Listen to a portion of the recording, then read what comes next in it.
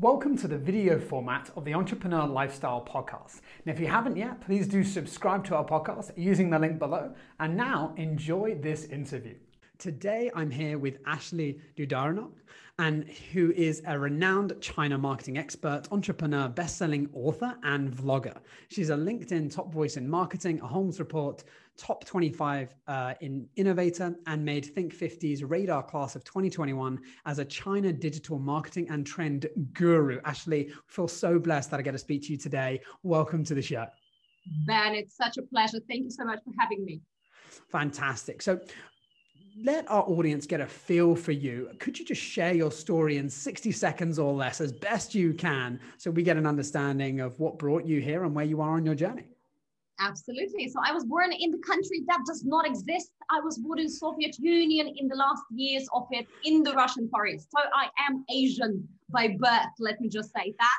and um, I yes, I've been you know studying in Russia, and then I've been to UK, I've been to New Zealand, and when I was 17 years old, I moved to mainland China, to the city in the heart of China called Chongqing, population-wise the biggest in the world with 32 million people, and that's where my digital kind of marketing and social media journey began.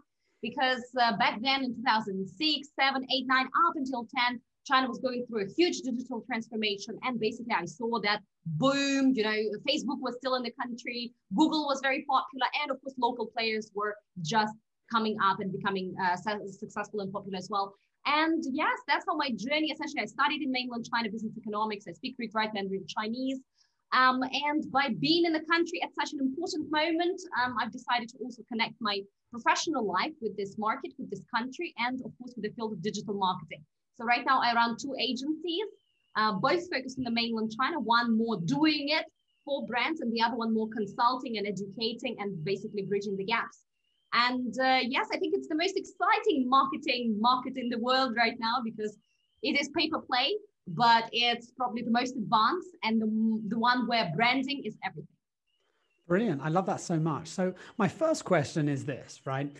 As an entrepreneur, how do you manage your time between all these different projects that you've got on? Because you've got your, your FIRE self development and mentorship program, you've obviously got Chozan, you've got uh, Alarice, you've got all these different things. How do you manage your time between all these different projects? I mean, some entrepreneurs can barely do one business and you're doing multiple. How do you manage it? Well, as an entrepreneur, I think that's the biggest misconception. People think that it is one role, like it's one job. In fact, it's three different things. As an entrepreneur, you are, first of all, an expert. You need to be an expert in a field before you start a business, or you need to invite somebody who's an expert. But ultimately, there is a role of an expert. Then there's a role of a leader, like you managing the team, you managing other people or processes or clients or whatever, you being a leader. And the other one is the owner. So when we talk about entrepreneurship, for some of these projects, I am an owner, which means I don't run day to day things for these business. For others, I am a product. So I am an expert. I need to go, for example, and develop um, certain uh, presentations or deliver a keynote. So I am the product. It cannot function without me. And for some of them, I come in as a leader and I lead the team and guide, you know, people forward. So I think it's very, very important to start with that. As an entrepreneur, you need to know that no matter how big or small your business is, even if you're a one-man show, you're never just an entrepreneur. None of us is a business owner purely, unless you're Richard Branson and then you never set foot into, I don't know, the Virgin Galactic or Atlantic or whatever else. And, you know, people run the show and you are just there as a public figure. And none of us is purely an owner. We are always owner, business leader, and an expert. And for me, um, just making sure that I know those roles, I have clear job descriptions for each of them, for mm. each of my businesses. And with job description, it becomes very, very clear that I need to, for example, as an, as an owner, set the vision and then let the team run with it. And for some projects, for some of my businesses, I need to lead some of the things, either because people are not ready yet or for, you know, whichever other reason. So I need to spend, let's say, my morning there. And for others, I am an expert. So I don't show up every day. I don't need to, for example, deliver keynotes to board of directors of BMW every day. But when I do it once a month, say, I need to show up and I need to be there, I need to be professional. So I think uh, for me, it's really about that, having that clear job description, uh, also clear, and also um, you know, just plan it out, book it in, get at least half a day off for yourself to think. because as an entrepreneur, your first job and the most important one is obviously becoming more and more an owner. And that's what requires a lot of thinking, a lot of brilliant, time. brilliant. I love that. So we've got owner, we've got leader, we've got expert.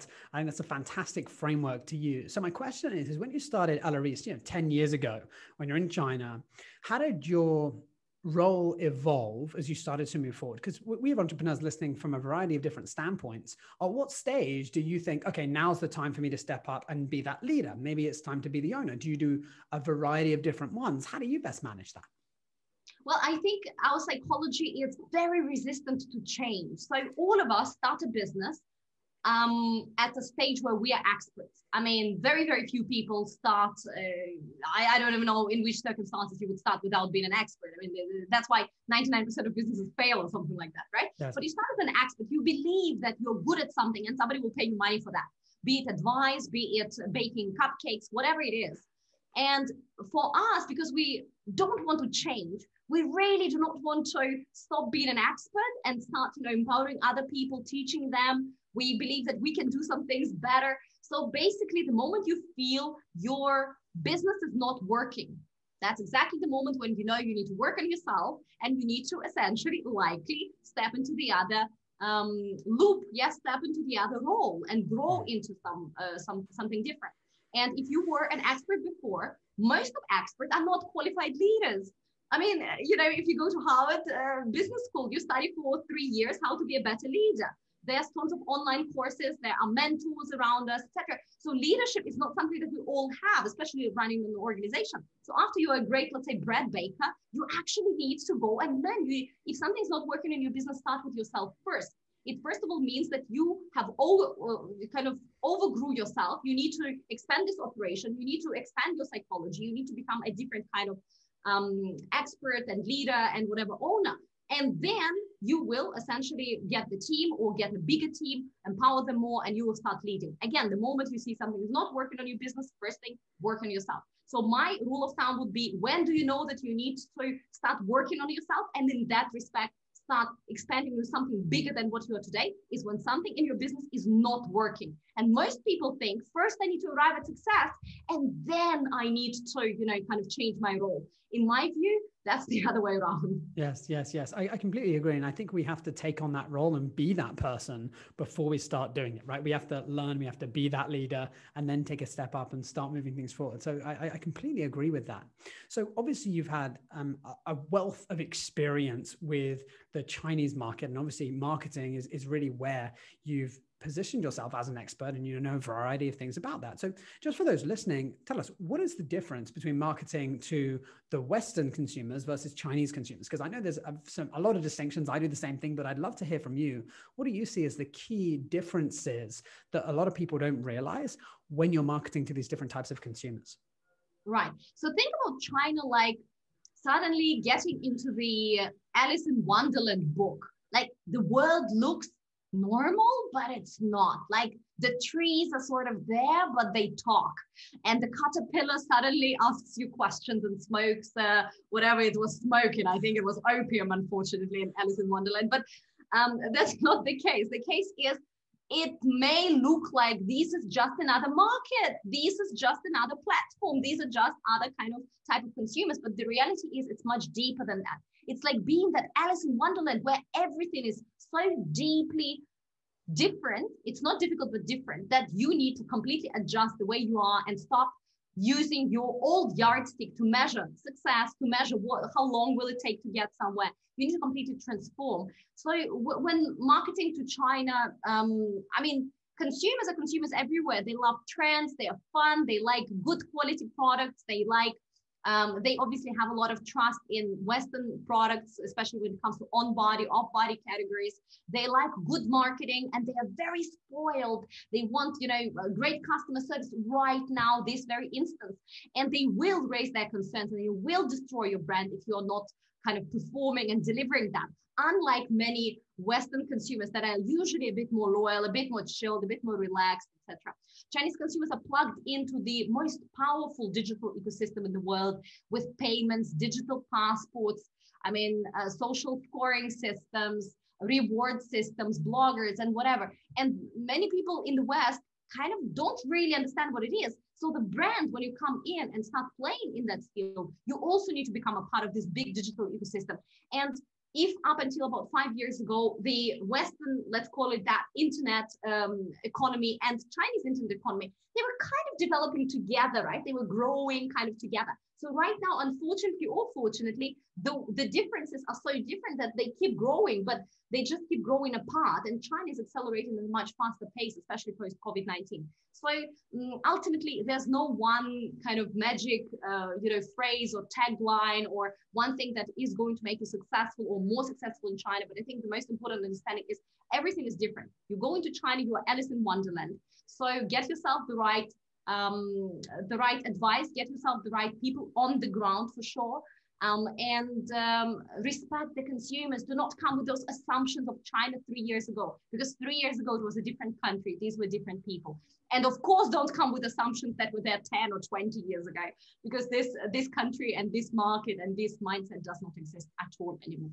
Yeah, I, I, completely agree. I mean, I've been in and out of China for nine years, and it's crazy to think of the way in which it evolves. And we're constantly wanting to be able to stay on top of it you know, to yeah, enhance our impact. So let's say someone wanted to start marketing in China, they're interested in, in exposing themselves to the Chinese market. What would be some of the key mistakes you'd say, don't do that and actually start doing this instead? Like what would be the kind of go tos for you that is the foundation in order to start expanding and moving things forward? Right. So one of the biggest one is um, brands do not want to invest in setting up their own presence. They feel that oh, it's a bit mafan, so it's a bit troublesome. Let us just go with you know with an online distributor or TP or you know somebody who's going to take the problem away and just basically sell our product in China. And that usually works for a couple of years, especially if your product is somehow, you know, it somehow has a dependable position in the category. For example, you're selling um, apples from the UK. So nobody else but the UK farmers can sell apples from the UK. And because Chinese consumers generally feel that, well, apples, Europe, kind of maybe UK has better soil, better, I don't know, for climate, maybe apples from the UK are better than, you know, apples from Fujian, for instance. Um, so you have a defend- defendable position, hopefully, in the market. Um, but the problems come when you want to expand that business. And uh, when you want to expand this business, you understand that after about three years or for some uh, quicker, your business is stagnating. So it's not growing. And you feel like, oh my God, my category is growing, like let's say baby care or skincare or apples from, from Britain. So why the market is growing, but I'm actually, you know, either the same uh, level or even losing positions. And the reason very often is brand. In China, all the search is branded search. So people do not look for apples. People look for XYZ branded apples. You know, people don't look for shoes, running shoes, they look for Adidas shoes. And if you fail to establish that brand and your TP partner or the online distributor, their role is to sell because that's how they make money, right? They are not there to establish brand. So after a while, this pool of people that just want to buy a product, it kind of waits out and others step in with their brands and you are losing your positions. So the hmm. biggest mistake is really misunderstanding that you cannot have a long-term success in China by overly relying on somebody who is just going to make the problem disappear. And by yes. the problem, I mean, for example, setting up your own company in China. Yes, it's mafan. Yes, it's troublesome. yes, you will have to hire people. Yes, you will have to have this, you know, long-term contracts that basically after three contracts with a person, you have lifetime employment. And yes, it's, eh, you know, the social security is basically 50% of their salary and all that, ba, ba, ba, ba, ba, ba. But setting up a small office, even with three people, I mean, long term, it's going to be great. And maybe for the first year, you don't need to sell on Chinese platforms. Do cross border. It's fine. Do cross border for a few years. And then when you're ready, get your licenses properly, get your, you know, trademark, obviously, before selling anything to China, get your trademarks registered and all that. Um, secure also your communities. Don't just rely on TP partners selling, but get your branding right. Set up your communities where you can actually collect fans and thereafter your kind of relationship with customers. Um, in the West, our social media is more like a place to uh, put an ad but in China, it is your social CRM. There's no other way to communicate with your customer. You cannot send them emails because people don't set, uh, don't check emails. You cannot send them WhatsApp messages or let's say annoy them with phone calls because right now China introduced one of the world's most uh, rigid rules on how you can or cannot caress people with SMSs and phone calls. So essentially, your only way to have this CRM as a brand, especially if you're selling on e-commerce, because e-commerce has all of the client relationship, the platform like JD or Alibaba. Mm. So your relationship is going to be built on social media. You don't have that platform, you don't have content, you don't have a voice. Um, you know, it's it's not going to work long term. And in China, we frequently say you are what you publish. So you publish something good, you're good. You publish something bad, you're bad. You publish nothing. And uh, um, another mistake is um, definitely underestimating how much money and time you need for the China market. Mm. Um, you know, people still feel that it might be kind of cheap and you might make money within a year. No, you're going to make money within two or three years if you're just entering. And that given that you have a defendable position and you will have to invest a lot in, um, you know, advertising, uh, that results in sales, so kind of performance marketing and of course branding as well. And apart from that, you need to support IDITP, the team that helps you sell, because 70% of sales online in China also are happening assisted. So they are not somebody going, you know, on Amazon and just purchasing the towel. It's people who are watching, um, you know, a video or live streaming, and then they actually message a customer service representative and say, "Oh, is this towel really that fluffy, or do you have something yellow?" And they will message you at three o'clock in the morning, and you need to be there. Your team, as of you know, your TP partner team, they're working twenty four seven to provide that customer service. And mm. you, as an international brand entering the game right now, you are expected to play by those rules. So I would say these are the major kind of misconceptions and mistakes um, mm. that foreign brands still make. There were a lot more 10 years ago. Right yes. now, they still make mistakes, but the mistakes are you know not as uh, kind of silly as we you know those that have been in china for a bit longer um, they they are less obvious but there's still quite a few Brilliant, brilliant. And I think there's so much, you know, golden nuggets and wisdom that you're sharing there. And I think one of the things that is is very important is about the brand and how important it is to have that trusted brand and to be able to move forward. And I was watching one of your videos from I think two or three years ago where you started looking into personal branding. And I think now, especially with everything with COVID, I think people have started to focus on people even more. It's happened in the West. I think it's happened in China as well. And there are certain individuals that you start to trust. So my question to you now is how important is it to build a personal brand in China? And how do you go about building that relationship with people through time so that you can sell on top of building that connection with other people? Right. So I would say it's not just for China, globally right now. If mm. you are in business, you need to have a personal brand. In other words, uh, I mean, in I back in the day, I didn't like the personal brand tag. What I called it was, um, you know, online reputation, or just call it reputation. Hmm. I mean, you, you can't dislike reputation because that makes uh, that makes or breaks your business, right? And ultimately, people want to do business with those they know, like, and trust. And hmm. this online reputation, or this personal brand, or you can call it thought leadership, it is something that makes people know you because they can find you, like you because you you know probably have a personality that some people connect with. Others might not like it and this is also okay. And trust you. Why would people trust you? Because you show up every single day. So if you are especially in b2b business there's no way around it. And it doesn't matter whether you are an insurance salesperson that looks after you know b2b uh, businesses or you are a marketing agency owner founder or key account manager or you are selling chemicals in barrels uh, you know to somebody in um, in the middle east it's really it really doesn't matter but you need to go and share insights relevant for your industry be it hmm. for your peers be it for your clients, be it for somebody who's just starting a career in your field, it does not matter. But we all have so much to share, so much to give.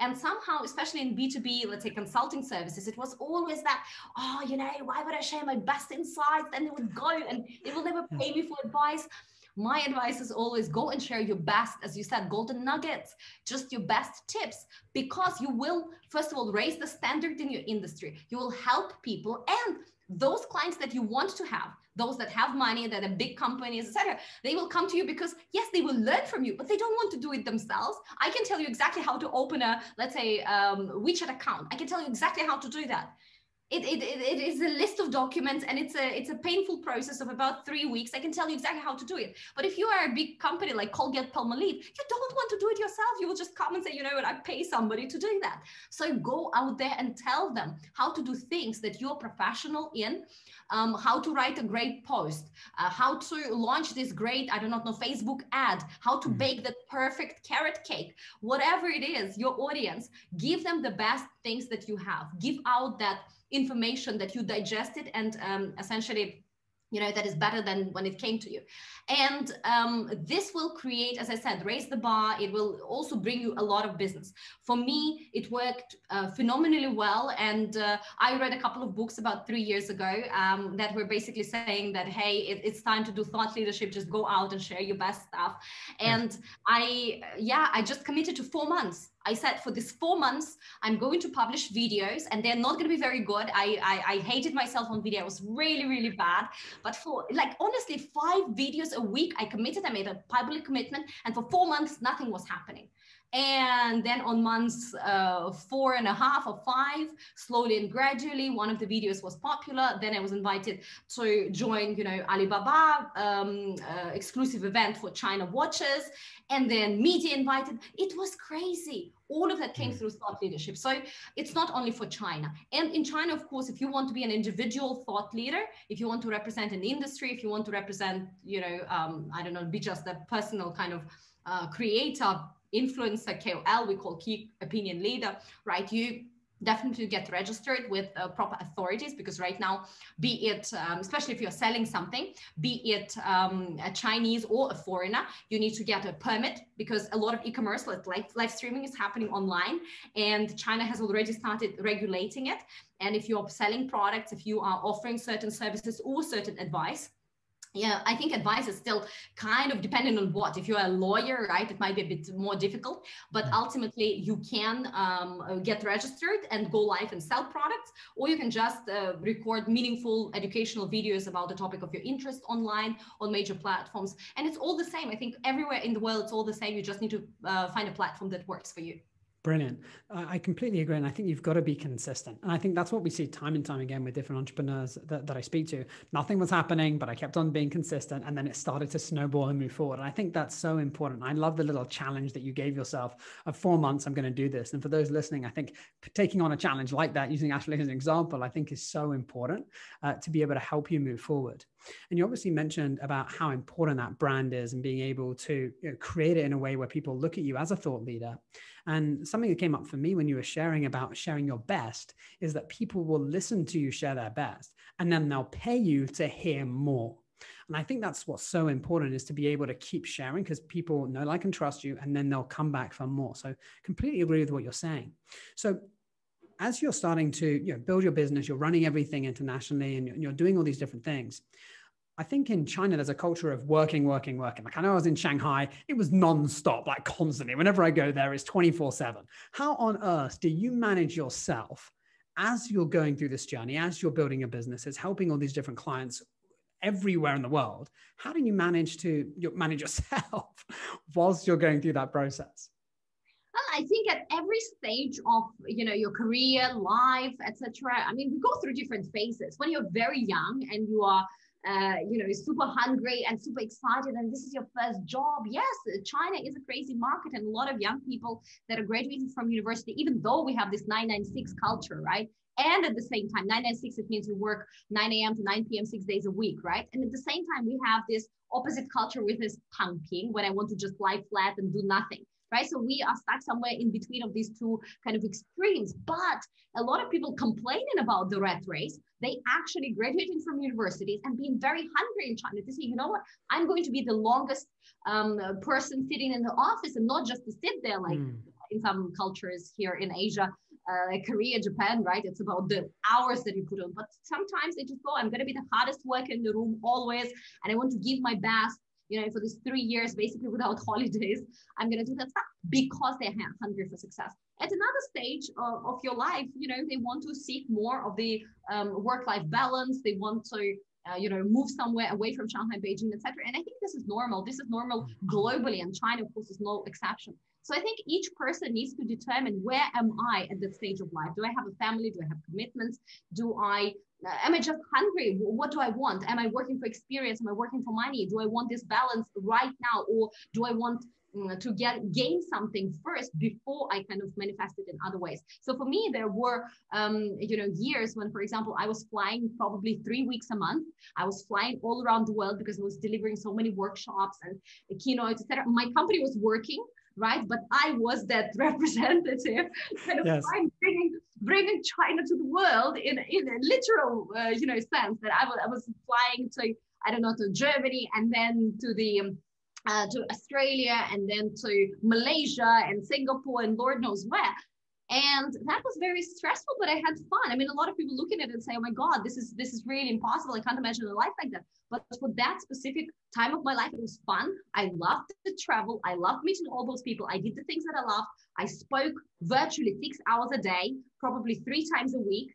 Um, and all the content about China is not um, is not you know something that you learn once and then retell again and again. But you constantly need to have your course, insight yeah. updated. And what I mean is, if there are three presentations, then uh, basically two of them are completely different because a lot of things changed.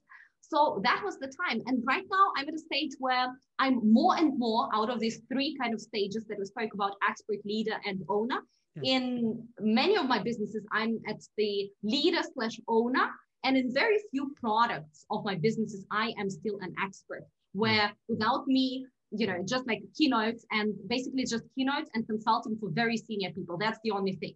And everywhere else, my team basically does it. So I can just lead, I can guide, I can hand, um, pass on my kind of expertise, give the vision, um, and um, and find the right people. Just hire the right people, make sure that they're happy. So I enjoy that role. And above all, my role also as a kind of leader of organization, as the face of organization, is to do thought leadership. And I also enjoy that part. So at this stage, I am running an organization with great dedicated people. Mm, I'm doing the things that I love. I work um, I start about 8 a.m. and I finish at about 12 or 1. And then I go home and I do my things. I lie in the bathtub for a couple of hours. I watch Poirot TV series. Honestly, and every, I mean, twice a week I have massage. The masseuse is coming over and yes. uh, uh, another time there is basically my Chinese lessons and another time there is, you know, facial that, you know, people that are coming to do all these things for me and with me and yoga, etc. So I think at this stage I can definitely manage because I've arrived at this place and it was never uh, that five, four, six, ten years ago, right? And right now I'm there, and I believe that for people, um, it also gets very difficult to kind of let go and really, mm. you know, let your people, you know, be, let them just go and run. And for me, I love leading by absence.